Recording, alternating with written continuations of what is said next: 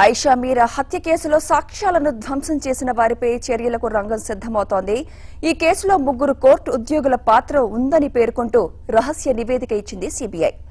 Case హైకోర్టులో విచారణలో ఉందన్న విషయం దాచిపెట్టి ఉద్దేశపూర్వకంగానే సాక్ష్యాలను ధ్వంసం చేశారని సిబిఐ ఆరోపిస్తోంది.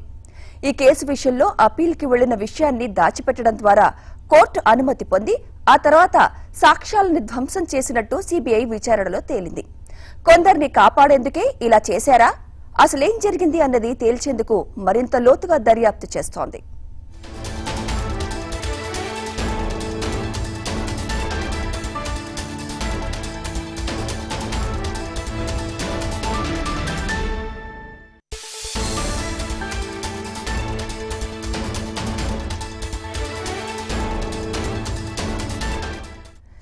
సాక్ష్యాలను ధ్వంసం చేసే ముందు అపీల్ విషయం చూసుకోవాల్సిన విజయవాడ మహిళా కోర్టు జూనియర్ అసిస్టెంట్ వాటిని పట్టించుకోలేదని సీబీఐ చెప్తోంది.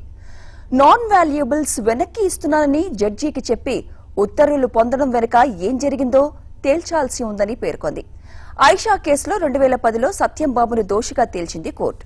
అతనికి శిక్ష పడింది. తర్వాత మూడు నెలలకు మహిళా కోర్టులో క్లర్క్గా పనిచేస్తున్న ఉద్యోగిని ఈ కేసుకు సంబంధించిన సాక్ష్యాలను నాలుగవ అదనపు చీఫ్ మెట్రోపాలిటన్ మెజిస్ట్రేట్ కోర్టుకు పంపించారు. అక్కడ ప్రాపర్టీ క్లర్క్ వాటిని రిజిస్టర్లో నమోదు చేశారు. నాలుగేళ్ళ తర్వాత అంటే రెండు వేల పద్నాలుగు సెప్టెంబర్ ఏడున ఈ కేసులో సాక్ష్యాలను ధ్వంసం చేసేందుకు అనుమతి కోరుతూ మరో ప్రాపర్టీ క్లర్క్ మెజిస్ట్రేట్ ముందు ఫైల్ పెట్టారు. ఈ కేసుపై రెండు వేల పదకొండులోనే హైకోర్టుకు వెళ్ళినా ఆ విషయం ఇక్కడ ప్రస్తావించలేదు. ఇక్కడే న్యాయస్థానాన్ని తప్పుదోవ పట్టించారని సీబీఐ గుర్తించింది. ఈ కేసును హైకోర్టులో అప్పీల్ చేసిన విషయం కానీ అక్కడ ఏం జరిగిందో అన్న వివరాలు కానీ విజయవాడ కోర్టు ముందు ప్రస్తావించకుండానే కొందరు ఉద్యోగులు సాక్ష్యాల ధ్వంసానికి అనుమతి పొందినట్టు తేల్చింది.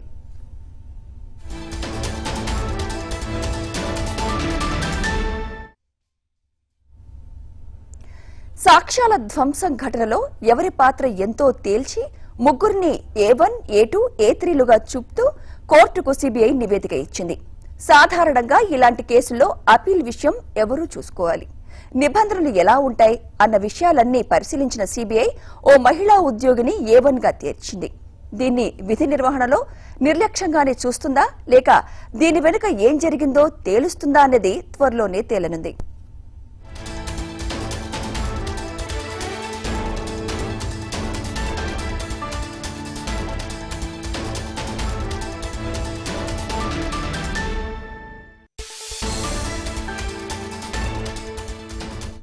ఐషా మీరా కేసులో కోర్టుకు సిబిఐ ఇచ్చిన రహస్య నివేదికపై మరిన్ని వివరాలు మా స్పెషల్ కరస్పాండెంట్ రమేష్ అందిస్తారు. రమేష్ మరి ఐషా హత్యకు సంబంధించి సిబిఐ ఇచ్చిన రిపోర్ట్లు అసలు ఏముంది రమేష్?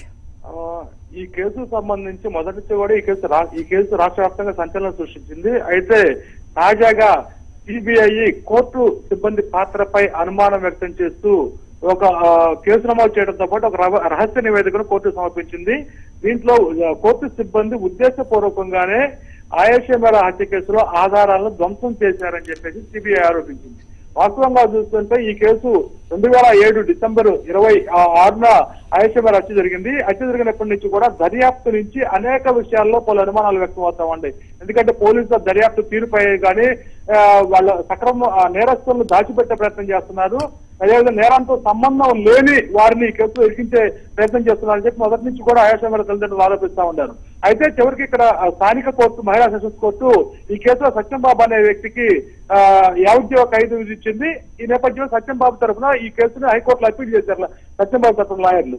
అయితే హైకోర్టులో కేసు అప్పీల్లో ఉన్న ఉన్నప్పుడు దిగువ కోర్టులో ఉన్న ఈ ఆధారాలను హత్యకు సంబంధించి పోలీసులు కోర్టుకు సమర్పించిన ఆధారాలను భద్రంగా కాపాడాల్సిన పరిస్థితి ఉంది. అయితే దానికి విరుద్ధంగా హైకోర్టులో కేసు ఉందని తెలిసి కూడా విజయవాడ కోర్టు సిబ్బంది ముగ్గురు కలిసి దీన్ని ఉద్దేశపూర్వకంగా న్యాయవాదికి ఈ ఆధారాలకు పనికిరావు వీటిని ధ్వంసం చేయడానికి అనుమతించాల్సిందిగా న్యాయవాదిని కోరడం జరిగింది. అయితే దీంతో వాళ్ళు కోరిన మేరకు న్యాయవాది ధ్వంసం చేసేందుకు అనుమతి ఇచ్చారు. అయితే ఈ సందర్భంలో ఆ కేసు హైకోర్టులో అప్పీల్లో ఉన్నప్పుడు హైకోర్టులో విచారణలో ఉన్నప్పుడు ఈ విధంగా కోరటం అనేది నియమాలకు విరుద్ధం. అయితే వాటన్నింటినీ తొంగలో తొక్కి ఈ కోర్టు సిబ్బంది ఆధారాలను ధ్వంసం చేసే చేయడం పట్ల సిబిఐ పలు అనుమానాలు వ్యక్తం చేసింది. ఉద్దేశపూర్వకంగానే వీళ్ళు ఈ ఆధారాలు ధ్వంసం చేస్తున్న నేపథ్యంలో మొదటి నుంచి కూడా ఆయేషా మీద తల్లిదండ్రులు ఆరోపిస్తున్నట్లు ఏదో అదృశ్య శక్తి ఈ దర్యాప్తునన్నింటినీ మా తారుమారు చేస్తుంది అని ఆరోపిస్తున్నట్లు ఎవరు అదృశ్య వ్యక్తులు ఉండాలా దీని వెనక ఈ ఘటన వెనకాలని చెప్పేసి సిబిఐ అనుమానిస్తుంది. ప్రస్తుతానికైతే ఈ ఆధారాల ధ్వంసానికి సంబంధించి కో- కోర్టుకు ఒక రహస్య నివేదిక సిబిఐ సమర్పించింది. అయితే కోర్టు అనుమతితో వీళ్ళ ఆయన అదుపులో తీసుకొని ప్రశ్నించి ఎవరి ప్రోద్బలంతో ఈ ఆధారాలు ధ్వంసం చేశారనేది తెలుస్తుందని చెప్పేసి తెలుస్తుంది అనేది తెలుస్తుందనేది ఇప్పుడు ఆసక్తికరంగా మారింది. ఏమైనప్పటికీ కూడా స్థానిక స్థితి అధికారుల పైన దర్యాప్తు తీరుపై అసంతృప్తి చెంది హైకోర్టు ఈ కేసు సిబిఐకి అప్పచెప్పింది. సిబిఐ కూడా ఆధారాలు ధ్వంసం చే ధ్వంసం అయ్యాయని చెప్పేసి కేసు నమోదు చేసిన నేపథ్యంలో ఆయాస మీర హత్య కేసులో దోషులు ఎవరైతే ఉండారో వాళ్ళు ఇప్పట్లో బయటకు వస్తారా? ఈ కేసును ఇంకా ఇక ముందు దర్యాప్తు చేయడం సాధ్యమవుతుందా? అంశాలు ఇప్పుడు ప్రశ్నార్థకరంగా మారాయి. Right thank you Ramesh